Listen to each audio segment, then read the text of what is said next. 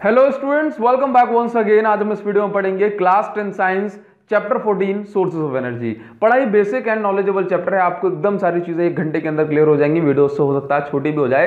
तो इस चैप्टर में बस कुछ नहीं करना। आपको बस जो कुछ भी कहा जाए, उसको सुनना है, उसको एक बार सोचना है, उसको देखना है। सारी बातें खुद ब खुद आपके समझ में आ जाएँगी। ये सब कुछ आपके ब्रेन में पहले से रिस्टोर है। पहले से स्टोर है। आपको बस उसको एक बार उसको एक बार बाहर निकालना है, एक बार रिवाइज करना है, जो डेटा है उसको रिवाइव करना है।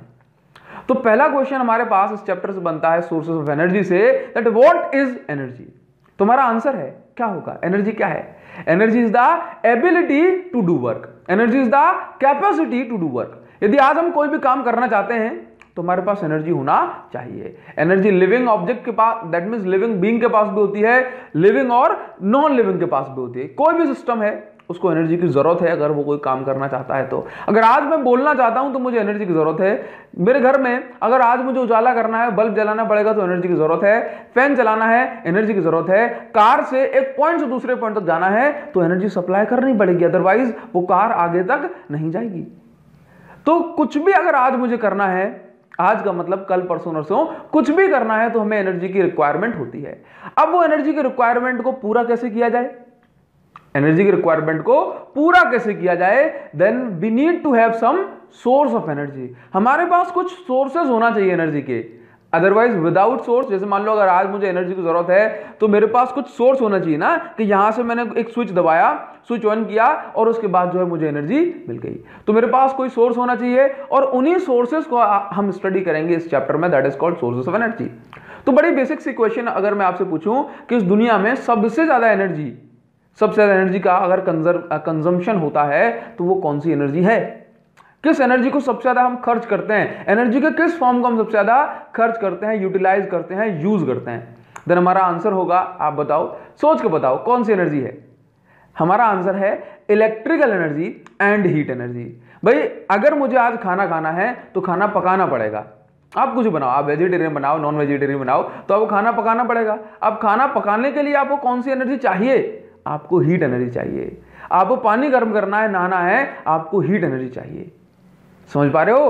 आपको आपको आपको कार चलानी है तो आपको हीट एनर्जी चाहिए। फ्यूल जलाओगे फ्यूल से क्या होता है? फ्यूल जलाओगे तो फ्यूल से फ्यूल से हाँ कंबशन होता है फ्यूल का दैट मीन्स हीट निकलती है और उसके कारण से फिर जो है हमें एनर्जी मिलती है। तो मेनली हमें हीट एनर्जी चाहिए। क्या चाहिए? हमें हीट एनर्जी चाहिए और हीट एनर्जी से हम खाना पका सकते हैं, अपने डेली रिक्वायरमेंट को पूरा कर सकते हैं। इसके साथ साथ इलेक्ट्रिसिटी बना सकते हैं।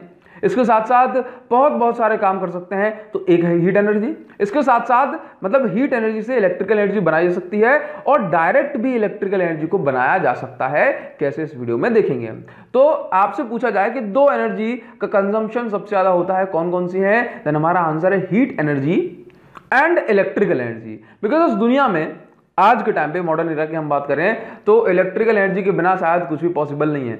आप एक रूम में अगर अंधेरा हो जाए तो उस रूम को जल्दी से बाहर निकल आओगे, है ना? अंधेरा अगर 24 घंटे रहे तो हम उसमें नहीं रह सकते, हैं ना? बिना फ़ैन के, बिना कूलर के, बिना बल्ब के, बिना मोबाइल के अब कैसे रहा जाएगा? तो हमें एनर्जी की ज़रूरत है। तो अब अगर हमारी डेली लाइफ एनर्जी पर पूरी तरह से डिपेंडेंट है तो फिर हमें जानना होगा कि एनर्जी के सोर्सेज क्या हैं। हमें उन सोर्सेज को स्टडी करना होगा and now we are moving toward sources of energy तो अब हमारे सामने क्वेश्चन बनता है कि हम सोर्सेस ऑफ़ एनर्जी से क्या समझते हैं।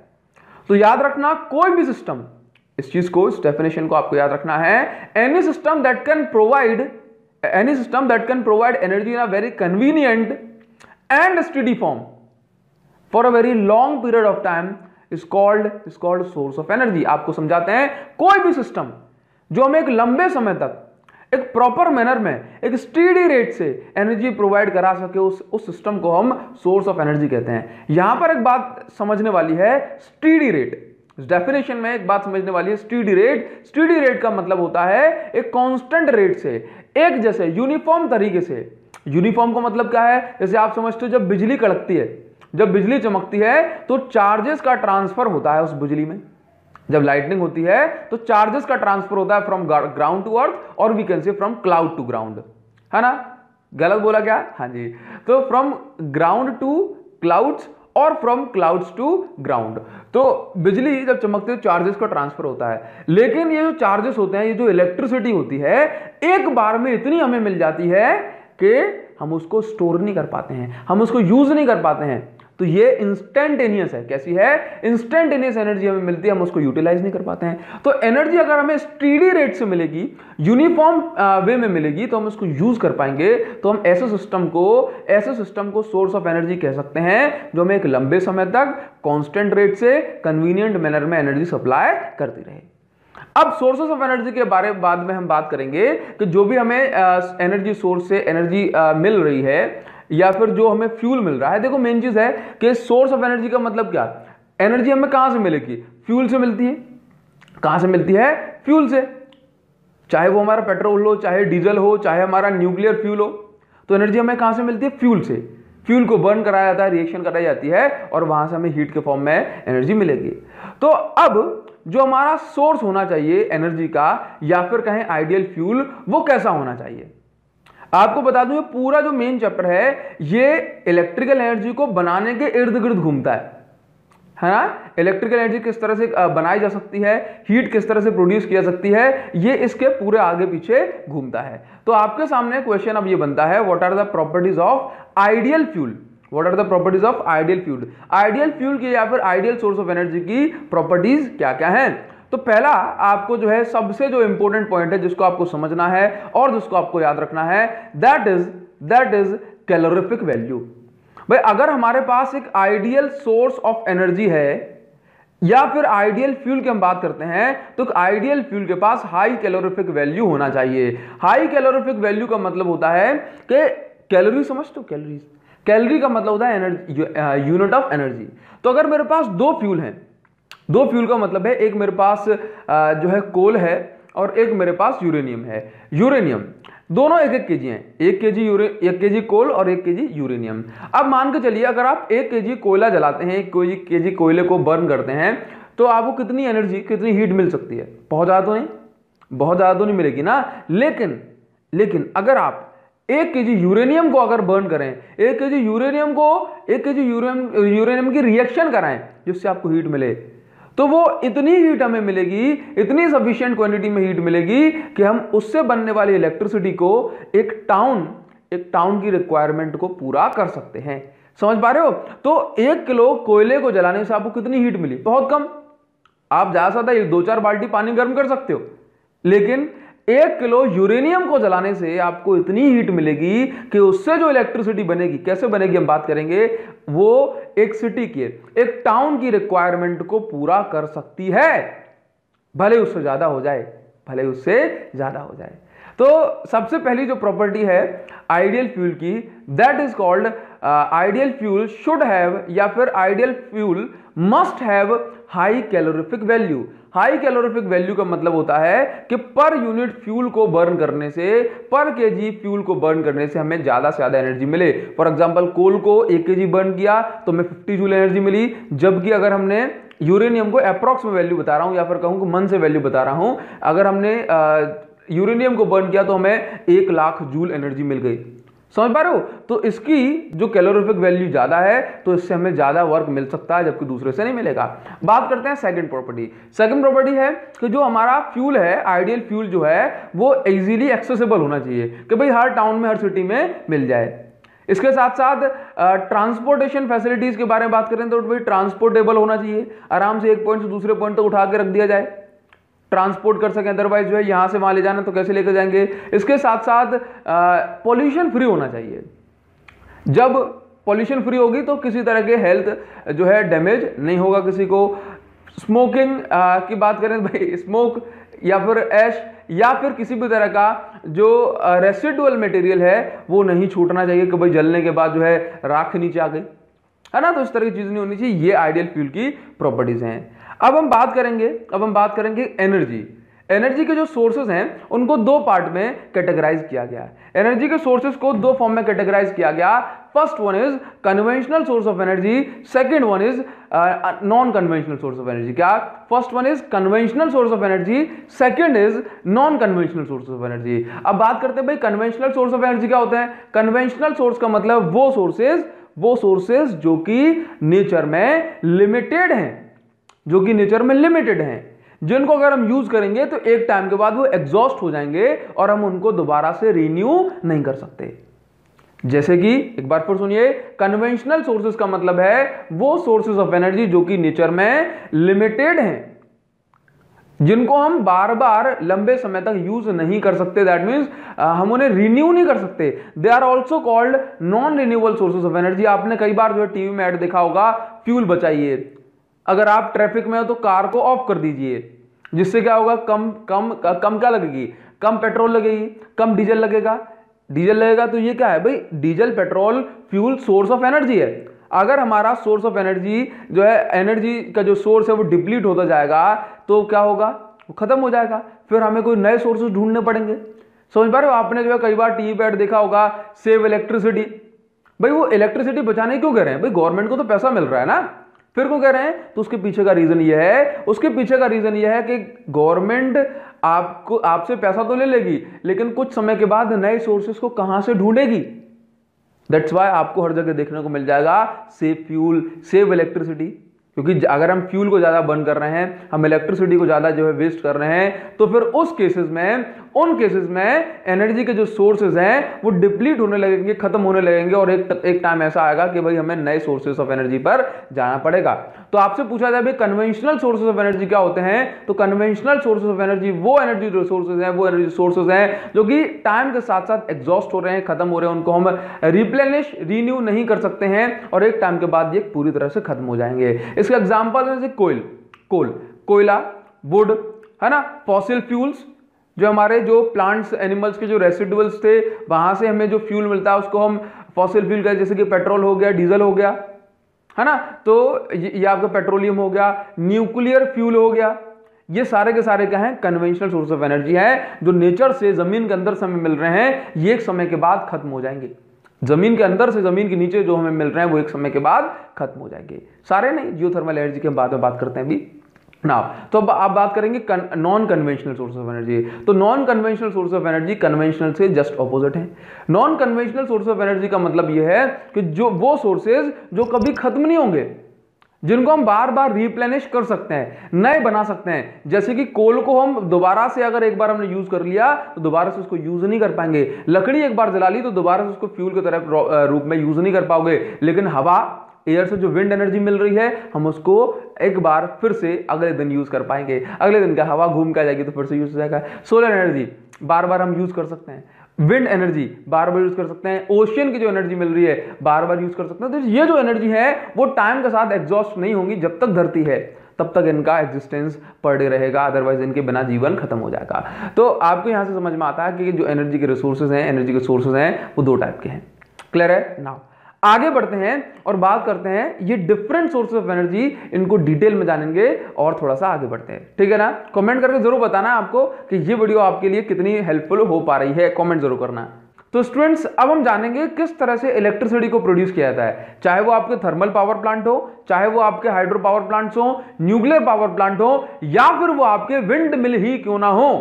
किस तरह से इलेक्ट्रिसिटी को जनरेट किया जाता है, इन सभी के पीछे एक बेसिक सा कॉन्सेप्ट है, जिसको हमने कई बार अपने बचपन में देखा हुआ है। आज, आजकल भी देखते रहते हो ये सारी चीज़ें। देखो, आपने कई बार ऐसा देखा होगा कि आप शादी में गए हो खाना खाने, और हो सकता है बाई चांस उस शादी में लाइट चली गई। तो इस केस में सारे लोग क्या करते हैं? बोला, सारे लोग जो है फ्लैश जला लेते हैं। लेकिन वो तो हम सब करते हैं। लेकिन जो मेन जो पर्सन होता है शादी में, जिसके यहाँ, जिसने शादी होस्ट की होती है, जिसने जो है फीस्ट होस्ट किया होता है, उसका काम क्या होता है? वो जाता है और जल्दी से जो है जनरेटर ऑन करवाता है। जैसे वो जनरेटर ऑन करवाएगा, वैसी इलेक्ट्रिसिटी आ जाएगी, वैसी इलेक्ट्रिकल एनर्जी हमें मिल जाएगी। तो अगर हमें इलेक्ट्रिकल एनर्जी अगर हमें इलेक्ट्रिसिटी चाहिए तो क्या हम जनरेटर से ले सकते हैं? हाँ जी, बिल्कुल ले सकते हो। तो electricity that mean generator electricity produce generator electricity generate करता है। अब जरा खुद सोचो कि जनरेटर में इलेक्ट्रिसिटी कैसे जनरेट होती है, उसको घुमाना पड़ता है। फिर उसके अंदर अपन ने एसी जनरेटर की वर्किंग पड़ी है, वो एक अलग चीज़ है यहाँ पे नहीं बात करेंगे। तो जनरेटर को घुमाना पड़ता है जनरेटर को घुमाना पड़ता है जनरेटर को घुमाना पड़ता है, और जनरेटर को घुमाना पड़ता है दैट मीन्स अगर जनरेटर घूमेगा तो फिर इलेक्ट्रिसिटी में मिल जाएगी। बस यही बेसिक प्रिंसिपल याद रखना। अगर घर में इलेक्ट्रिसिटी चाहिए, शादी में इलेक्ट्रिसिटी चाहिए तो छोटा जनरेटर होगा, उस छोटे जनरेटर को आप घुमाओगे, आपको इलेक्ट्रिसिटी मिल जाएगी। लेकिन अगर पूरे देश के लिए, पूरे स्टेट के लिए, पूरे डिस्ट्रिक्ट के लिए आपको इलेक्ट्रिसिटी जनरेट करनी है तो कितना बड़ा जनरेटर होना चाहिए? बहुत बड़ा जनरेटर होना चाहिए। अब उस बहुत बड़े जनरेटर को अगर चलाना है तो बहुत ज़्यादा एनर्जी हमारे पास होनी चाहिए। उस जनरेटर को घुमाना है तो बहुत एनर्जी हमें हमारे पास होनी चाहिए। अब उस जनरेटर को हम दो तरह से घुमा सकते हैं। या तो ह्यूमन से घुमाया जाए उसको इंसान घुमाए लेकिन इंसान आलसी होते हैं और इसके साथ साथ इतना ज़्यादा एफिशिएंटली वर्क नहीं कर पाते। तो डिसाइड किया गया कब इन, अब इंसानों का जो है इसमें हेल्प नहीं लेंगे जनरेटर घुमाने में। नहीं तो जो है अगर चार लोग जनरेटर घुमाने में लग गए तो बोला ये ये ये घुमाता रहेगा मैं सिर्फ़ हाथ लगा लेता हूँ। है ना? तो फिर काम चोरी करेंगे तो फिर काम चोरी करेंगे। तो क्या सोचा गया? फिर सोचा गया कि जो है, इस जनरेटर को अगर घुमाने से इलेक्ट्रिसिटी बनती है तो अब हम इस जनरेटर को घुमाएँगे, लेकिन अब तरीका दूसरा होगा। तो पावर प्लांट जितने भी होते हैं, उन सब में जो काम होता है, वो जनरेटर को घुमाने का होता है। जैसे जनरेटर घूम जाएगा इलेक्ट्रिसिटी बनने लगेगी। तो अब बात करते हैं सबसे पहले थर्मल पावर प्लांट की। थर्मल मींस हीट तो थर्मल पावर प्लांट में क्या होता है कि कोयले का यूज़ करके या फॉसिल फ्यूल का यूज़ करके पेट्रोल डीजल का यूज़ करके पानी को गर्म किया जाता है। है ना? तो सोर्सेस ऑफ़ एनर्जी का यूज़ हो रहा है ना? मतलब पेट्रोल डीजल कोयले का यूज़ करेंगे। That mean source of energy का आप यूज़ कर रहे हो। तो कोयले का यूज़ करके पानी को गर्म किया गया। पानी गर्म करोगे तो बनेगी स्टीम दैट मीन्स भाप वेपर पानी गर्म करोगे तो बनेगी स्टीम अब स्टीम में याद रखना इतनी ताकत होती है कि वो टरबाइन को घुमा सकती है। किसको घुमा सकती है? टरबाइन। टरबाइन का मतलब आप ऐसे समझ लें, एक ऐसी मशीन है जिसमें ब्लेड लगी होती है, जिसमें ब्लेड लगी होती है। और ये टरबाइन कनेक्ट होती है डायरेक्ट जनरेटर से। अगर टरबाइन घूमेगी तो जनरेटर भी घूमेगी, और अगर जनरेटर घूमेगा तो इलेक्ट्रिसिटी बनेगी। एक बार बेसिक लेआउट फिर समझते हैं कि पानी गर्म हुआ कहाँ से? सोर्सेस ऑफ़ एनर्जी खर्च हो रहे हैं। पानी गर्म हुआ, पानी गर्म हुआ तो बनी स्टीम स्टीम बनने से क्या हुआ? ये स्टीम गई टरबाइन को घुमाने। टरबाइन घूमी। टरबाइन घूमी तो जनरेटर घुमा जनरेटर घुमा तो फिर इलेक्ट्रिसिटी बन गई और वो इलेक्ट्रिसिटी हमारे घरों में आएगी। तो हम इसको बोलते हैं थर्मल पावर प्लांट हीट का यूज़ करके पानी को गर्म किया जाता है स्टीम बनाई जाती है टरबाइन घुमाई जाती है और टरबाइन घुमाने के बाद जो है जनरेटर घुमाया जाता है। ठीक है, बन गई इलेक्ट्रिसिटी अब आते हैं हाइड्रो पावर प्लांट पर। फिर दोनों के एडवांटेज डिसएडवांटेज देखेंगे। ठीक है, अब आते हैं हाइड्रो पावर प्लांट पर। अब मेन चीज़ क्या है? मेन चीज़ क्या है? बोला जनरेटर घुमाना। पहले हीट का यूज़ करके पानी को गर्म किया स्टीम से जो है टरबाइन घुमाई टरबाइन घुमा के जो जनरेटर चलाया। अब डायरेक्ट पानी का यूज़ करेंगे। हाइड्रो पावर प्लांट में क्या है? हाइड्रो मीन्स वाटर तो पानी से इलेक्ट्रिसिटी बनाने को हम हाइड्रो पावर प्लांट कहते हैं। देखो तो बड़े बड़े डैम होते हैं। डैम में आप जानते हो पानी स्टोर होता है। अब जब डैम से पानी छूटता है तो उसके पास कितनी ज़्यादा एनर्जी होती है? मतलब पहुँच जाता है उसके पास डैम के अंदर जब पानी स्टोर है तो उसका पोटेंशियल एनर्जी है। और जब पानी जब मोशन में आया तो उसके पास काइनेटिक एनर्जी है। तो जब पानी नीचे आता है तो उसके पास बहुत ज़्यादा काइनेटिक एनर्जी होती है। और इतनी ज़्यादा काइनेटिक एनर्जी के साथ जब ये वाटर टर्बाइन से टकराता है तो टर्बाइन की ब्लेड्स घूमती हैं। टर्बाइन की ब्लेड घूमेगी तो टर्बाइन कपल्ड है किसके साथ? जनरेटर के साथ। तो फिर जनरेटर भी घूमेगा। अगर जनरेटर घूमा, अगर जनरेटर घूमा, प्यारे बच्चों तो फिर क्या होगा? तो फिर इलेक्ट्रिसिटी बन जाएगी। तो थर्मल पावर प्लांट में हीटिंग की गई स्टीम बनाई गई टर्बाइन घुमाई गई और जनरेटर चलाया गया। हाइड्रो पावर प्लांट में पानी आया टर्बाइन घुमाई गई और जनरेटर चलाया गया। तो अब देखो, अगर आपसे पूछ ले जाए कि भाई इनके एडवांटेजेस एंड डिसएडवांटेजेस क्या है तो क्या बोलोगे? एडवांटेजेस हैं कि ये लार्ज स्केल पर इलेक्ट्रिसिटी का प्रोडक्शन कर सकते हैं। एडवांटेजेस ये है कि ये जो है बहुत ज़्यादा इफिशियंट है। डिसएडवांटेजेस क्या है? डिसएडवांटेजेस हैं कि इनको जो है एक लार्ज एरिया चाहिए। पहला डिसएडवांटेज इनको लार्ज मेंटेनेंस चाहिए। यहाँ पर स्किल्ड लेबर की ज़रूरत होती है। इनका जो कॉस्ट है, वो काफ़ी ज़्यादा है। ये सारे इसके क्या है? लिमिटेशंस बाकी यूज़ यही होते हैं। एडवांटेज डिसएडवांटेज तो लिखने पड़ेंगे, लेकिन यूज़ यही ज़्यादा होते हैं। आपका जो है hydro power plant thermal power plant समझ पा रहे हो? हाइड्रो पावर प्लांट में एक और जो है प्रॉब्लम है। कि हम हर जगह नहीं लगा सकते। जहाँ पर डैम होगा, सिर्फ़ वहीं पे लगाया जाएगा। जबकि थर्मल पावर प्लांट तो सिर्फ़ हमें जगह की ज़रूरत होती है। पानी के सोर्स की ज़रूरत होगी और वो हमें बोरिंग वोरिंग करा के आराम से मिल ही जाता है। है ना? इतना पानी जो है नदी के किनारे आराम से बना सकते हैं। चलिए, आगे बात करते हैं। तो आपको समझ आया कि hydro power plant thermal power plant में किस तरह से इलेक्ट्रिसिटी बनाई जाती है। बात करेंगे न्यूक्लियर पावर प्लांट में क्या होता है।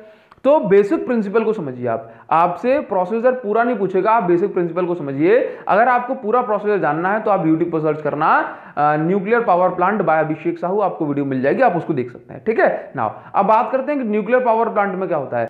अब बात करेंगे न्यूक्लियर पावर प्लांट की तो अभी तक आपने देखा, भाई थर्मल पावर प्लांट में हम क्या करते हैं? भाई पानी को गर्म करते हैं विद हेल्प ऑफ़ कोल और कोयला, है ना? लकड़ी हो सकती है पेट्रोल हो सकती है, लेकिन लेकिन यहाँ पर हम क्या करते हैं न्यूक्लियर पावर प्लांट में जैसे कोल एक फॉसिल फ्यूल है, वैसे ही वैसे ही फिजनेबल जो मेटेरियल होते हैं, जैसे कि यूरेनियम ये भी फॉसिल फ्यूल है, ये भी धरती में पाया जाता है।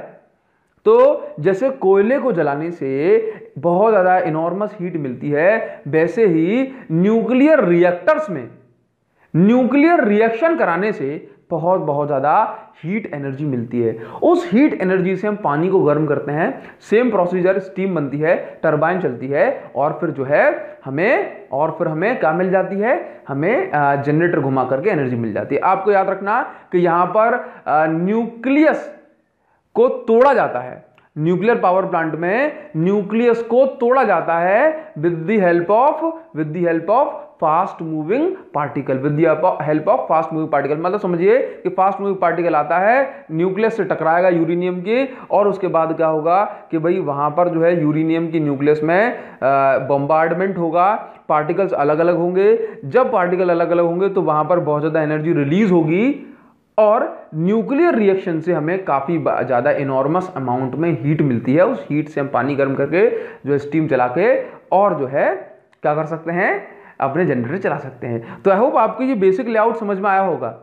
अब बात करेंगे कि भाई न्यूक्लियर पावर प्लांट के एडवांटेज डिसएडवांटेज क्या है? तो सेम चीज़ लिखनी है आपको कि यहाँ पर लेबर लेबर जो होगी स्किल्ड चाहिए मेंटेनेंस कॉस्ट बहुत ज़्यादा है, इसके दो चार पाँच दस किलोमीटर के एरिया में कोई रह नहीं सकता रेसिडेंशियल एरिया नहीं होता बिकॉज़ यहाँ पर बहुत ज़्यादा खतरा होता है डेंजर होता है किस चीज़ का? रेडियो एक्टिव रेज निकलने का।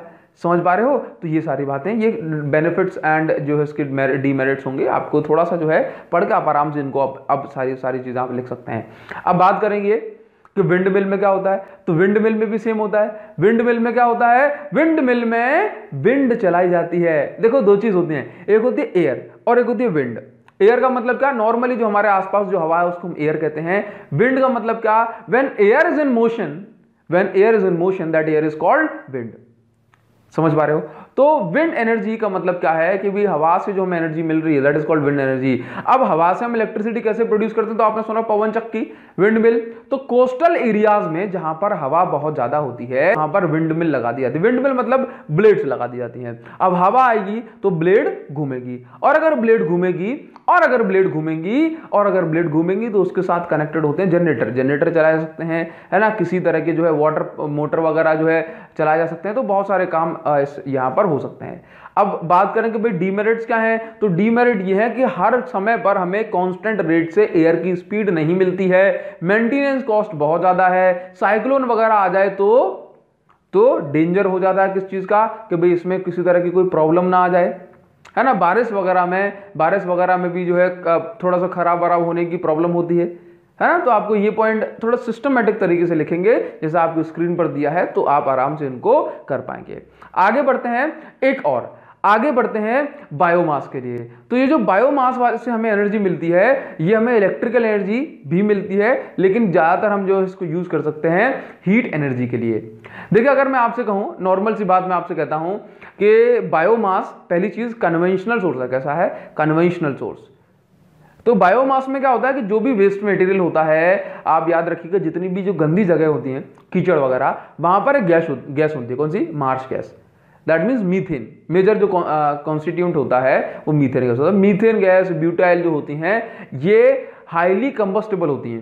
है ना? आग लग जाती है। आपने कई बार जो है सुना होगा कि आ, किसी भी जो है गटर वगैरह में अगर कोई जैसे मान लो स्मोकिंग वगैरह कर रहा है कोई पर्सन तो वहाँ पर जो है आग लग गई।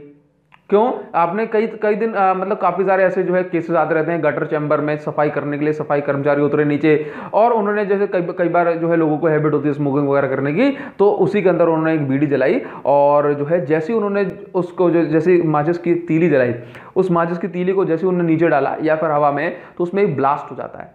बिकॉज़ ऑफ़ उसके अंदर मीथेन गैस बनती है। कौन सी गैस मीथेन गैस तो जब जब जो बेकार जो, सड़ी गली चीज़ें बहुत दिनों तक हो जाती हैं तो वहाँ पर जो है मीथेन गैस बनती है। मीथेन गैस हाईली कंबस्टेबल होती है। ये गैस ये गैस हमारी एलपीजी में भी होती है और इस तरह से आग लग जाती है। तो मेन चीज़ क्या है कि जैसे मान लो काउडंग है, कचरा है, गोबर है, गोबर को काउडंग ही कहते हैं ना, कहते हैं ना? तो काउडंग की स्लरी बनाई जाती है। मतलब उसमें पानी वगैरह मिला करके थोड़ा सा उसका घोल बनाया जाता है और उसके बाद जो है उसको चैम्बर में डाल दिया जाता है।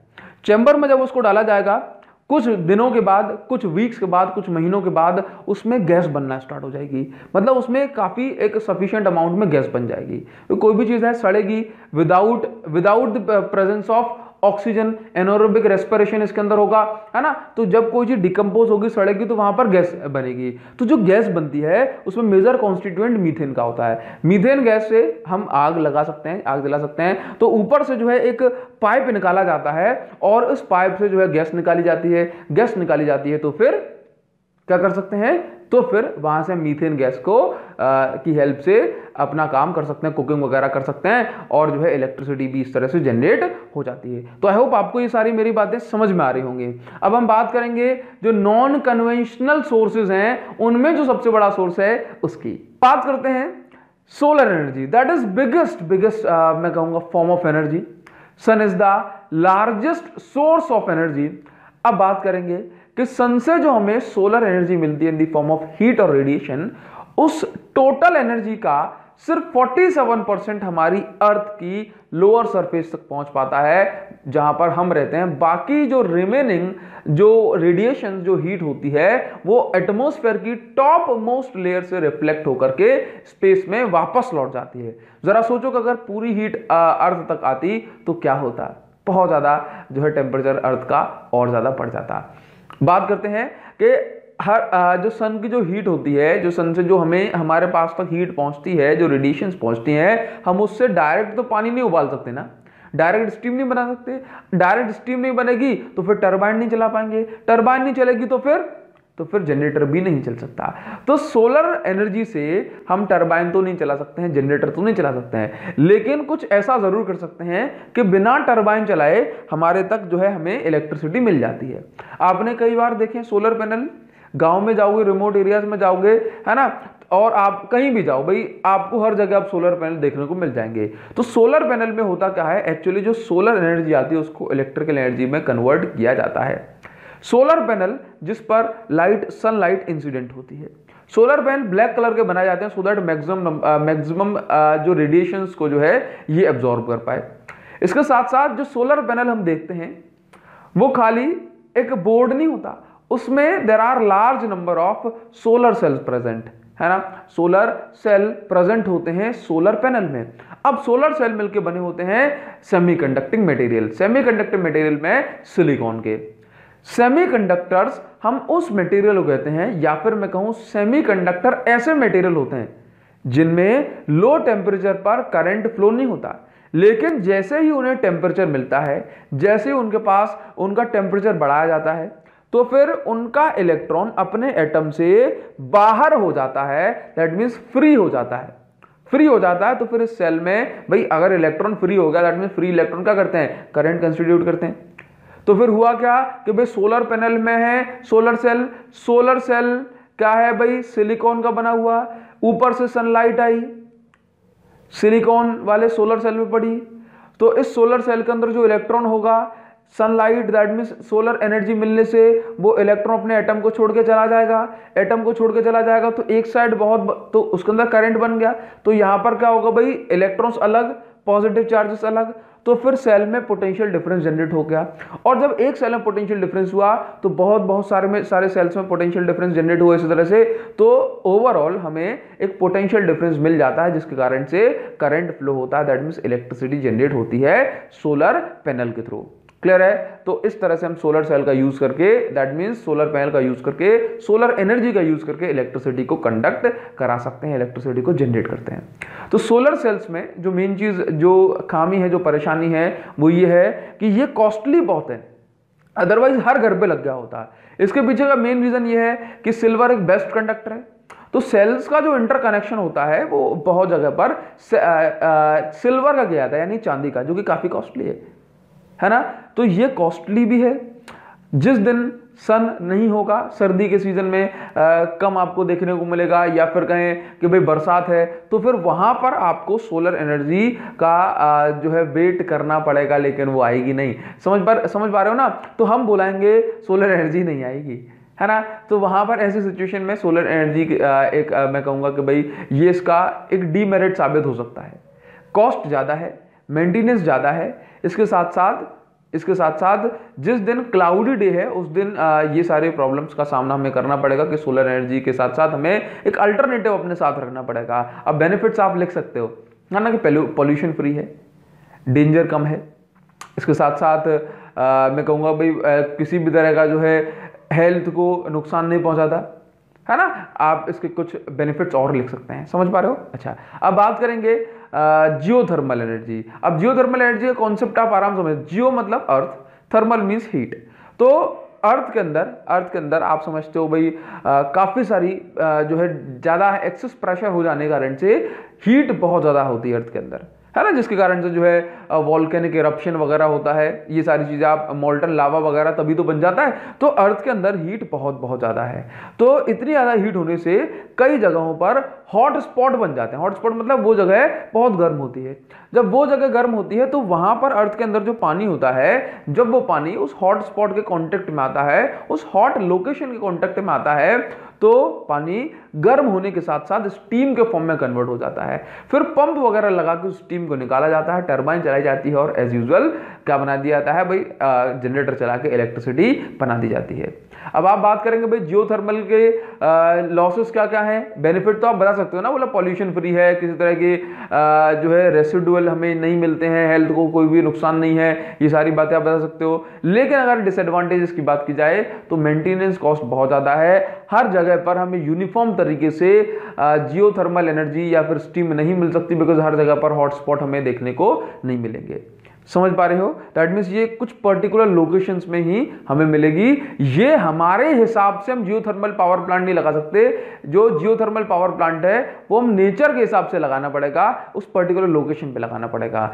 इसके बाद हम बात करेंगे टाइडल एनर्जी टाइडल एनर्जी का मतलब है कि भाई, ये आपको बता दें कि टर्बाइंस को घुमाना है इलेक्ट्रिसिटी को बना टर्बाइंस को घुमाना है जनरेटर को घूमे, घूमेगा और इलेक्ट्रिसिटी बनेगी। तो बात करेंगे टाइडल एनर्जी के बारे में तो टाइडल एनर्जी का मतलब है कि ओशन में सी में due to gravitational attraction of moon and earth high tide and low tide आते रहते हैं। हाई टाइड का मतलब है कि जब पानी जब पानी नॉर्मल लेवल से ऊपर उठता है तो उसको हाई टाइड कहा जाता है और जब नीचे जाता है तो उसको लो टाइड कहा जाता है। तो जब ये हाई टाइड और लो टाइड आता है तो इससे टर्बाइन को चलाया जाता है। अब टर्बाइन पानी की सरफेस के ऊपर नहीं होती टर्बाइन नीचे होती है। तो जब ये हाई टाइड और लो टाइड आता है तो टर्बाइन का अरेंजमेंट कुछ उस तरह से किया जाता है कि हाई टाइड और लो टाइड से ये टर्बाइन घूमती है। टर्बाइन घूमेगी तो इलेक्ट्रिसिटी बनेगी। इसी तरह से वेव एनर्जी की बात की जाती है। वेव एनर्जी में क्या होता है कि ओशियन सरफेस पर हम देखते हैं कि बहुत स्ट्रॉन्ग विंड चल रही होती है, बहुत स्ट्रॉन्ग विंड अब उस स्ट्रॉन्ग विंड से क्या होता है कि जो वेव्स हैं, वो वेव्स की स्पीड जो है काइनेटिक एनर्जी जो है, वो काफ़ी ज़्यादा होती है। तो अब जैसे मान लो ये वेव गई सरफेस पर और वेव वापस आ रही है। वेव जा रही है वेव वापस आ रही है। दैट मीन्स उसके पास कुछ काइनेटिक एनर्जी है। और उस काइनेटिक एनर्जी का यूज़ करके हम टर्बाइंस को चला सकते हैं और इलेक्ट्रिक जनरेटर के थ्रू इलेक्ट्रिसिटी बना सकते हैं। तो आप मेन चीज़ समझ रहे हो कि जो बेसिक फंडा है, अभी तक हमने इतने सारे डिवाइसेस पढ़े, उन सब में क्या है? जनरेटर को घुमाना इलेक्ट्रिसिटी चलाना जनरेटर को टर्बाइन के थ्रू घुमाया जाएगा। दैट्स ऑल इतनी सारी बातें हैं। तो यहाँ पर आपको इन सारी चीज़ों को अच्छे समझना है मेरिट्स एंड डीमेरिट्स को अच्छे से कर लेना है, आप सारी बातों को बहुत अच्छे से कर पाओगे। आई होप ये इस वीडियो में मैंने आपको जो कुछ बताया हो, आप ज़रूर समझ पाए होंगे। और आपको कमेंट सेक्शन में या फिर वीडियो की डिस्क्रिप्शन में कुछ क्वेश्चंस मिलेंगे, उनका आंसर ज़रूर देना। खुद से सोचने की कोशिश करना और इस तरह से आपके वन मार्क क्वेश्चन भी कंप्लीट हो जाएँगे और आपको एक अच्छा खासा नॉलेज भी आपको मिल जाएगी। तो कमेंट सेक्शन में ज़रूर बताएँ, ये वीडियो आपके लिए कैसी रही। आपके कमेंट का बिल्कुल इंतज़ार करूँगा और चैनल के साथ जुड़े रहें। चैनल को सब्सक्राइब करने के साथ साथ बेल आइकन को ज़रूर हिट करें। मिलते हैं आपसे नेक्स्ट वीडियो में। कमेंट सेक्शन में आपका इंतज़ार रहेगा। See you in the next video wise thanks a lot